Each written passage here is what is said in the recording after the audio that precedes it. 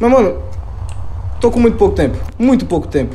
Ferrou. Ferrou completamente. Ferrou. É, gente.